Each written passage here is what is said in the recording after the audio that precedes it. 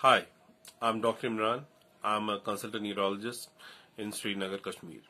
Today I will be talking about overactive bladder in relation to the World Continence Week that is being observed in June from 15th of June to 22nd of June 2020. It is a global initiative, an annual initiative that is being observed every year by WFIP uh, in collaboration with the International Continence Society. The main aim of this uh, week being observed is to raise an awareness about the uh, bladder condition, the pelvic pain, and the debilitating effect it has on the quality of life of these patients who have uh, this problem of incontinence. Incontinence uh, is a uh, condition in which the patient has an uh, unwanted and an involuntary leakage of urine. Is a very sensitive condition. Nearly 400 million people across the world suffer from it. It is a taboo.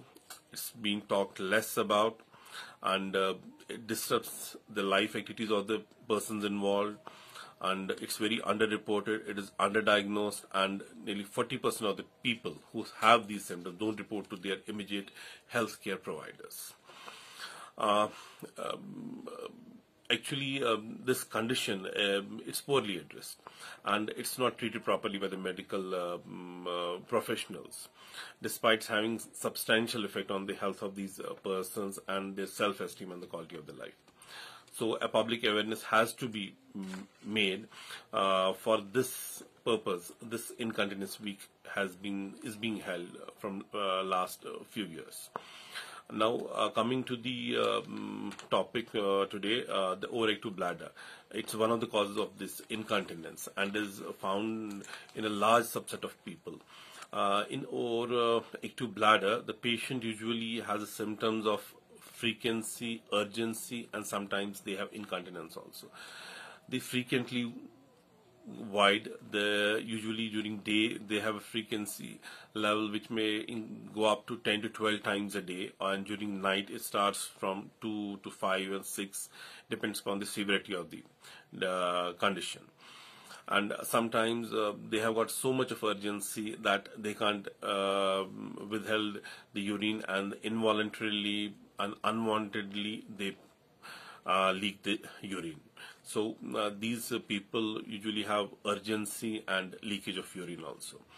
And uh, mainly the risk factors that uh, they are involved here are the, it's related to the age, it's related to the sex also. Age uh, being in the elderly, it's found most uh, commonly.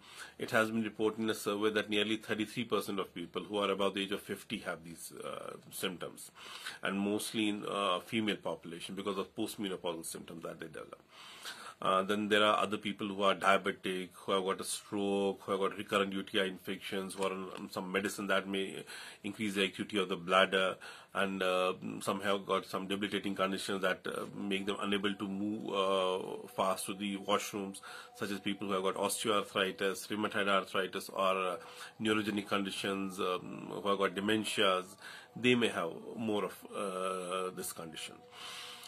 Uh, it's an embarrassing condition. Patient usually uh, uh, hmm, tries to be aloof from the society. He limits his social activities and isolates himself. So we have to reach to this population, subset of population. Um, what mostly we do is that uh, we counsel them first. For, there's a lot of behavioral modification that has to be done in them. We counsel them regarding their uh, weight, that they have to maintain a healthy uh, weight, they have to exercise regularly, the diet that they take. That is very important because um, uh, the caffeine has to be taken uh, in less quantity. Uh, the flavonoids that are found in tea, coffee, they have to limit those. They have to limit their smoking. Alcohol ingestion has to be reduced. Uh, then some people may take a lot of spicy foods that has to be avoided. Uh, then uh, we teach them um, how to uh, time their uh, voiding pattern, how to control their uh, blood urge to urinate. These are bladder holding techniques. We teach them about some exercises. These are pelvic floor exercises taught by us, or it may be done dealt with the physiotherapist also then uh, then comes the part of the medicines that are in the market. Now, recently, a lot of medicines have come that are specifically um, device for this um, bladder. So they have got less of side effects. Previously, there were a lot of medicine in the market, such as solifenacin, trospium, oxybutynin. Now we have come with a newer molecule that is mirabegron. That has changed a lot uh, regarding the condition of these patients and uh, the, uh, the symptoms that they have.